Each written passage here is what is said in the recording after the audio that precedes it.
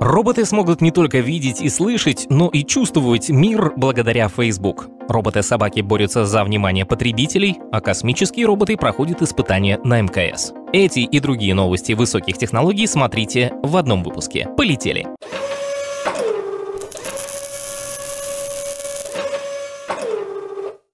Искусственного интеллекта Facebook, вернее Meta, объявила разработки сразу нескольких тактильных технологий, которые дадут роботам чувство осязания. Оказывается, компания не собирается полностью уходить в виртуальное пространство и занимается в том числе умной робототехникой. Самой интересной новинкой стала универсальная и недорогая чувствительная кожа для роботов Reskin. Цель ее разработки — добавить искусственному интеллекту чувство осязания в дополнение к уже имеющимся зрению и слуху. Reskin с открытым исходным кодом представляет собой деформируемый эластомер со встроенными магнитными частицами. Когда он каким-либо образом деформируется, окружающий магнитный сигнал изменяется. Разработка использует самоконтролируемый алгоритм обучения, который помогает автоматически калибровать датчик, что делает его универсальным, а также позволяет обмениваться данными между датчиками и системами. Reskin также может быть интегрирован с другими датчиками для сбора визуальных, звуковых и сенсорных данных вне лаборатории и в неструктурированной среде. Комбинирование мультимодальных наборов данных поможет роботам и искусственному интеллекту строить физически реалистичные модели мира, а также использовать избыточность для самостоятельного обучения. Новая сенсорная кожа дешевая в производстве. Она обладает толщиной 2-3 мм и может использоваться для более чем 50 тысяч взаимодействий.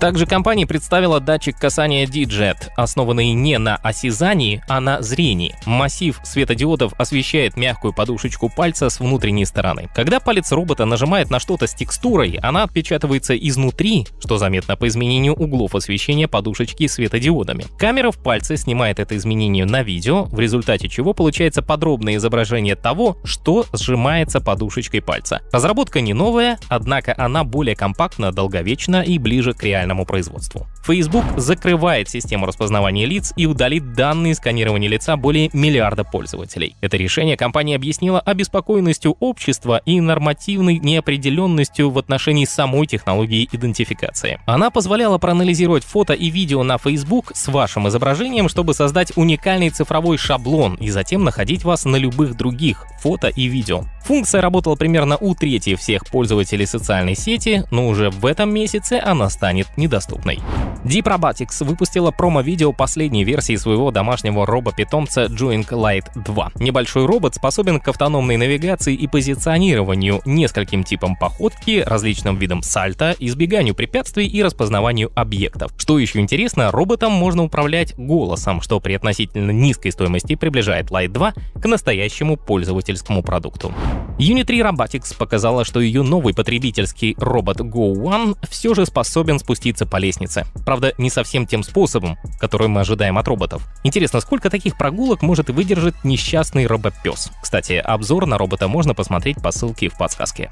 Четвероногие роботы все множатся, и очередной исследовательской платформой стал робот OnSilla с открытым исходным кодом. Робот весит всего 5 килограммов и является одним из представителей новейшего класса биоинспирированных ножных роботов, спроектированных с возможностью управления движением без использования модели. OnSilla двигается без сенсорных сигналов, его неудачные маневры и сложные движения поддерживаются в основном подпружиненной конструкцией ножек. Активная степень свободы робота позволяет резко и быстро менять направление направлении движения и поворачиваться на месте. Японская компания Jitai показала кадры испытаний работы своего манипулятора на МКС. Робот был доставлен на станцию в октябре на одном из кораблей SpaceX. Автономный манипулятор Jitai S1 можно установить в любом месте МКС. На видео он работает внутри шлюза Nanorax Bishop Airlock и выполняет задачи по сборке различных конструкций. Sarcos Robotics выпустила промо-ролик своих разработок. Компания проектирует и создает роботов и экзокостюмы, которые сочетают человеческую физическую ловкость с силой и выносливостью. Роботы Саркос созданы для производств спасательных служб, нефтегазовой и аэрокосмической промышленности. Сегодня компания делает ставку в основном на экзоскелеты, но лично нам больше нравится робот Guardian GT. Роботов создают для монотонной работы, но такие вещи, как уборка, пока доступны им лишь на полу. Однако инженеры пытаются решить эту проблему, и очередным вариантом стал робот DeconBot 2. Пока он работает очень, очень медленно, но с другой стороны, даже если для полного цикла ему понадобится вся ночь, Почему бы и нет, если только он не шумит и никого не беспокоит. DeconBot 2 использует недорогую платформу X3 с дифференцированным приводом от Metro Labs и манипулятор UR5i, который обеспечивает необходимую гибкость для отдельных движений. Робот может надежно и точно обнаружить и локализовать очищаемые объекты. Студенческая исследовательская лаборатория Университета Техаса показала маневренность 60-граммового симпатичного микроциклоптера, а в конце ролика сделала анонс более крупной модели, которая пока, видимо, не летает. Кстати, в России в прошлом году тоже испытывали циклолет, и он летал. Тогда гендиректор Фонда перспективных исследований Андрей Григорьев отметил, что преимуществами аппарата перед вертолетами являются лучшая маневренность, значительно меньшие габариты и защищенные движители. Американские инженеры представили робота, уничтожающего до 100 тысяч сорняков в час с помощью лазера. Лазер-видер двигается по полям автономно и распознает сорняки в режиме реального времени с помощью технологий компьютерного зрения и глубокого обучения. Робот весит 4,5 тонны, на нем установлены 12 камер высокого разрешения и 150-ваттные лазеры, стреляющие до 20 раз в секунду. Ориентируется в поле робот с помощью GPS, а препятствия обнаруживает с помощью лидара. В день лазер-видер может обработать 60 тысяч квадратных метров.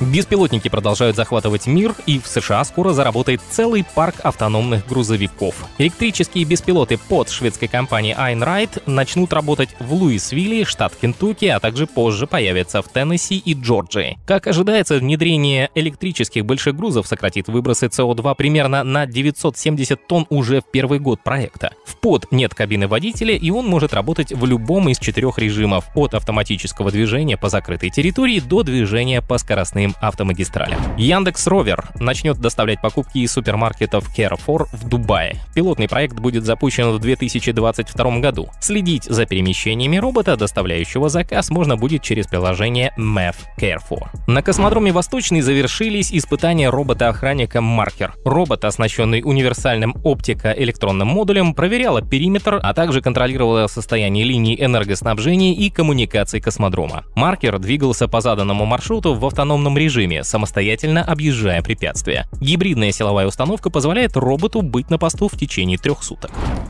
Всем привет! Мы рады объявить победителей конкурсов от Лиги Роботов. В видео Николай Пак спрашивал, почему зима сменяет лето, а лето сменяет зиму. На самом деле ответов про наклон оси было достаточно много, но там есть нюансы. И правильно ответили всего несколько наших зрителей. Итак, первое место и дрон DJI Tela уходит нашему зрителю Dewstead – Второе место и абонемент в любой кружок Лиги роботов достается SM3R4 CSGO. А третье место и абонемент в онлайн Legoland достается Александру Сушинцу. Поздравляю победителей! Обязательно напишите нам по контактам во вкладочке о канале, и мы договоримся, каким образом передать вам призы. Ну а если вы не выиграли, не отчаивайтесь, впереди еще много интересных конкурсов. Подписывайтесь на канал, ставьте лайк видео. Не пропускайте новые выпуски из мира высоких технологий.